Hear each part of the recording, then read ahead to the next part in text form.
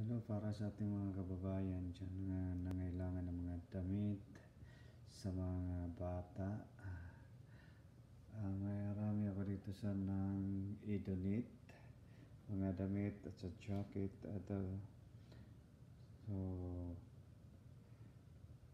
3 years old to 10 years old marami kami mga damit dito mga original ang iba hindi pa nasuot ito kailangan kong i-donate ito pero kung kayo ay gusto ninyong mga t-shirt short uh, jacket may uh, sombrero pa dito na kailangan magagamit. So ito ay hindi maga, hindi namin ginagamit. Ang iba nito ay hindi pa nasuot. Kasi mabilis lumalaki ang aking mga anak. Ito ay binablog ko lang kung kayo ay gusto, pwede kayo mag-comment dito sa aking sa baba para ipadala ko sa inyo.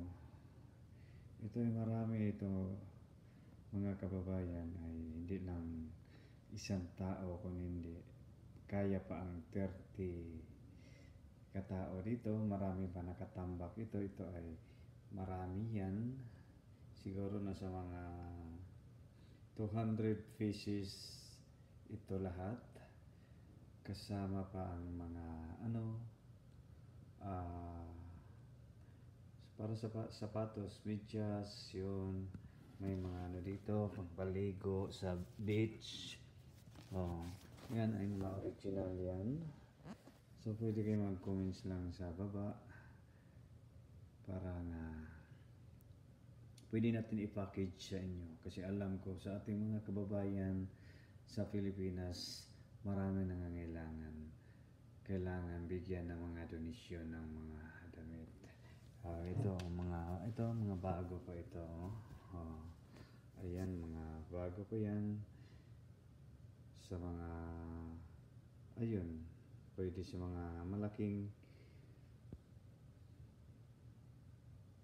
tao at saka sa mga ano mga kababayhan ayun.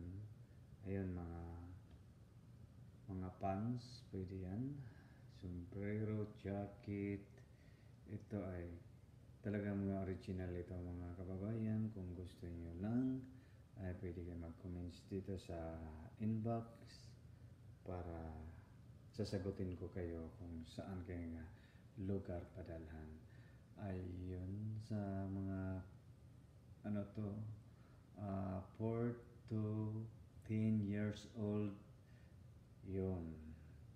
Ay ito ay mga talagang original pa ito iniipon lang namin. Sayang naman na ay, ang iba nito hindi ginagamit hindi talaga nasuot ito kasi ang mga bata kasi kapag hindi na ilang buwan lumalaki na sila. Ayun.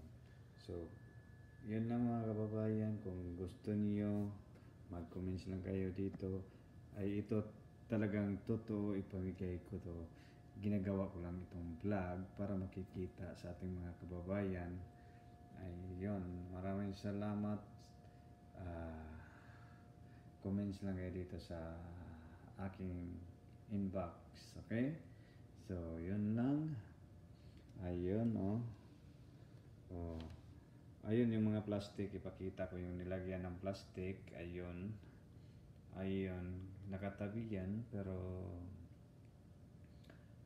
nakahanda ko to eh pamigay padala sa ating mga kababayan na nangangailangan. So, hindi lang ito, marami pa ito nasa kwarto. Uh, so, talagang ipamigay ito mga kababayan ko sa Pilipinas sa nangangailangan dyan. So, libre package ito kung gusto lang ninyo.